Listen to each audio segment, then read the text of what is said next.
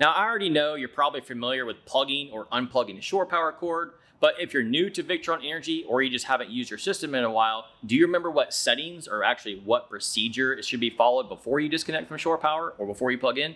If not, let's jump right into it right now. Before you crank up the generator or plug into shore power, make sure your AC current limit is set properly. I like to set it 2 amps below whatever source I'm plugged into. For example, it's set to 48 right now because I was plugged into a 50 amp outlet the last time I used this coach. But now I'm going to plug into something different. I'm going to show you how to change it. Before I can adjust this current limit, I need to turn my inverter on. I know my inverter is turned off because it says so right here on AC mode. Also, if I'm on this screen, I can see that it's off. I don't have any power coming in or any power going out on my AC side. And lastly, if I go into the menu and actually select my inverter, I can see that the state is off. Now you can control everything from the screen as well, but I personally like to use it from the pages on the outside. I rarely go into the screen, but this is a place that you can see some valid information. I also want to point out that the MultiPlus 2, 2 times 120, and the regular MultiPlus for a 30 amp RV are essentially the same thing, except for this one has two hots for 50 amp coach, and the regular MultiPlus doesn't. They're both 2400 watt inverters. They're both 120 amp chargers and they work exactly the same way. And then using them is the same as well. So if you have a 30 amp coach or a 50 amp coach, this is still all the same information. Before I can adjust this current limit, I need to turn my inverter on because it won't let me do anything otherwise. I can't communicate with it if it's turned off. Takes a little bit for it to come on there. When it does, you'll probably hear some beeping like from your microwave or if you have a 120 volt residential fridge, something like that, that's getting power for the first time, it may beep on you. Pretty normal. Now that I have my inverter set to on, I can actually verify it by looking right here. It says it's inverting and it's pulling power out of my battery and you know providing it to the AC loads. And then of course I can check in here as well. It's currently inverting, so so uh, right there. But if I go in there, it shows me the state as well. And again, you can set your current limit right here if you prefer to. The screen is a little bit easier to see the plus and minuses if you like it. Um, and you can also change the stat, you know, the what your is happening, the mode of your inverter as well right here. So I like to set mine to on, and then I'm going to set my current limit down to the plug size I'm going to be plugging into. In this case, I only have a regular 15 amp outlet, so I'm going to set this down to 13 amps. If you go too low, it will limit it down to 9.5. That is the lowest per inverter. So if you had a dual inverter system, it would be double this. But on a single inverter like this one, you can go all the way down to 9.5, which is pretty cool. But I'm gonna go ahead and set it to 13. I just wanted to point that out to you. And now that I have my current limit set properly to the size plug I'm gonna be plugging into, I can go ahead and plug into shore power. The best way to plug into shore power is to make sure the breaker is turned off first, plug your plug in fully, make sure the plug is seated, it's not loose, trying to fall out, something like that. If it is loose or there's a bad connection, that can cause problems. So make sure it's in there fully and that the outlet isn't bad itself. Once you have that in there, you can go ahead and turn on the breaker to give power to the power cord that you plugged in. Now I'm actually gonna show it to you in the actual inverter screen itself because it will some things will happen in here first.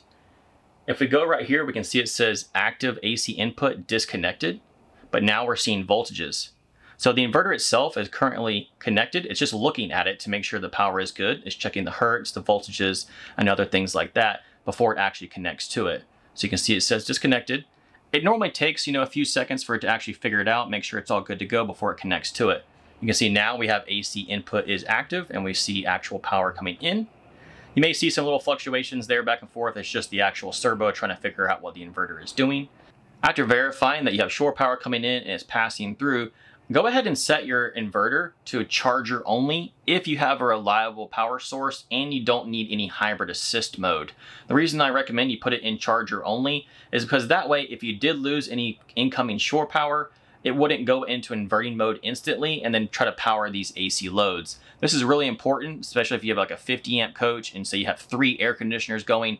Those three air conditioners are more than the 2400 watt inverter can you know keep up with. So if you did lose incoming shore power, the inverter is going to try to power all three ACs, it's going to overload, going to cause some problems, may even pop a fuse and be a really bad day for you. Or let's say it was set to on and while you're gone, you only had one air conditioner going, but you're gone for the day out doing some hiking. Well, unbeknownst to you, the RV loses power coming in because the park actually lost power. Now this does happen, I've seen it happen to clients, and that's why I recommend you put this to charger only, because what would happen is when you lose incoming power, you would lose any 110 period. But when you come back to the RV, you would see that your RV is still, you know, pretty full on power. And you could actually turn your inverter to on directly and then choose what you want to run off your battery bank until your battery bank is dead. When the inverter is in inverting mode, it is pulling power directly from the battery bank. And although your solar does try to fill your battery bank, it might not always be keeping up with your consumption, especially if you run an air conditioner along with a residential fridge and things like that. I know we have no solar coming in here. That's because we're underneath an awning and it is actually turned off. But I just want to point that out that when your inverter is inverting, it is pulling power out of the actual batteries themselves. What we're going to do now is now Normally, I would say set this charger only and then turn on whatever loads you're going to use and just live in your RV just like normal. You really don't have to do anything else. But if you did have a smaller shore power source like we have here, I'm going to set it to on because I want to show you what it looks like in assisting mode. Now that I have it set to on, I'm to go ahead and turn on the air conditioner. See, we got some increase in our AC loads here. I take a little bit for the screen to catch up with what's going on with the inverter. Oh, no, it's pretty quick. All right, so you can see now we're bringing in 1400 watts from the shore and we're powering a 1000 watt air conditioner. It's pretty cool outside. Normally air conditioners pull between 13 and 1500 watts or even more if it's really hot outside, but it's nice and cool out so it's not having to work that hard so it's only pulling 1000 watts. Now if you notice, we're pulling 1400 watts from shore and only 1000 on AC loads because the remainder is going to the lights vent fans, 12 volt fridge, stuff like that. And then what little bit is left over is actually going into the battery. So we still are charging the battery and we're running one air conditioner, even though we're on only on a 13 amp outlet. Now, of course, we have the proper size rated cord to be able to do this. What I want to do is go ahead and turn this down so that you can see if we didn't have enough power coming in and we were using too much, then the inverter will go right into assisting mode. So now we're not pulling as much power from the shore you can see it's lowered that down, and it's lowered that down because we set this lower. This current limit is how much it will pull in. So now it is actually helping the shore power, it's assisting it. So power is going from the shore, it's pulling some from the batteries. You can see we're losing about 50 amps or 700 watts, and that's going up to the air conditioner that is running. So that's what it looks like when you're on assisting mode.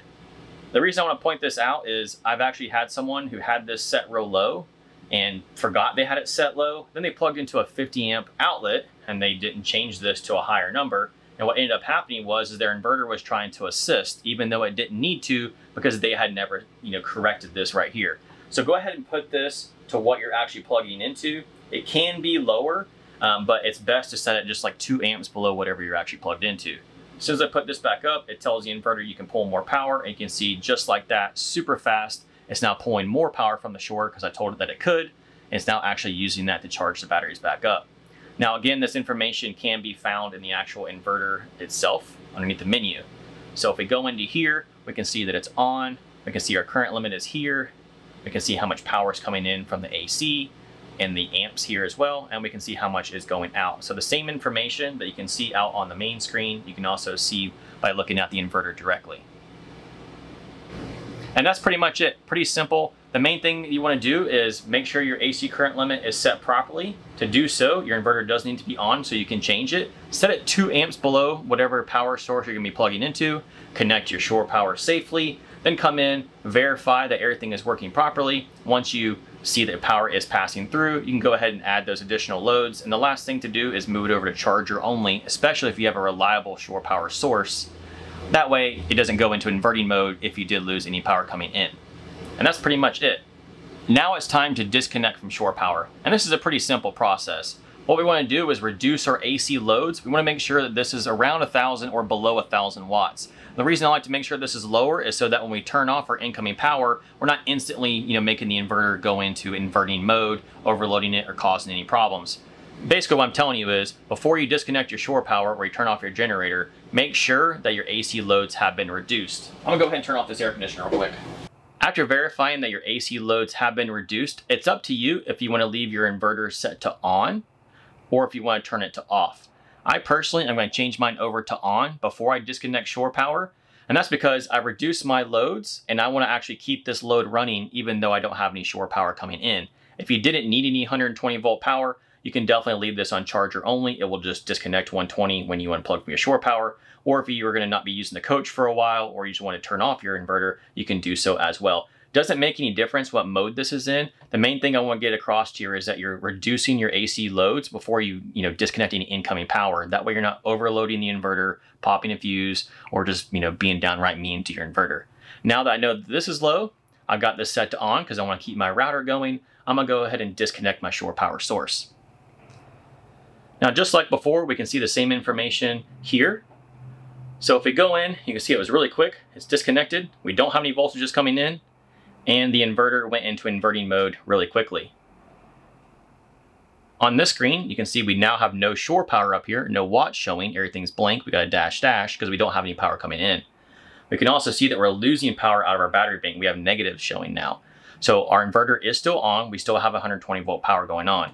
Now, if I had this set to charger only, what would happen is because we don't have any power coming in, we wouldn't have any power going out either. Since I'm leaving my inverter set to on so I can power this 120 volt load, I do want to mention that normally this is such a small load, my solar panels would keep my battery charged while I'm going down the road. Depending on how big of an appliance is you're running, your battery bank may still be full when you get where you're going, depending on how far the travel the day is, and of course how much solar production you're getting going. Quick recap of disconnecting from shore power. Reduce your AC loads to make sure they're less than 1,000 watts. So if you have multiple air conditioners, your water heater, things like that, turn off all those items before you unplug your shore power cord. That way you don't overload your inverter. Once these are less than a thousand watts, it's up to you if you want to leave your inverter set to on or if you actually want to turn it off. The main thing you're doing before you're disconnecting shore power or turning off that generator is making sure your AC loads are not more than the inverter can handle and you're not going to stress it out. That pretty much covers it. Hopefully that was quick for you. Safe travels. Don't forget to store that shore power cord because those things are expensive and we'll catch you next time. Hopefully you liked this video because we have a wealth of similar content on our website, joulemine.com. Go ahead, and add to your favorites bar, and happy exploring.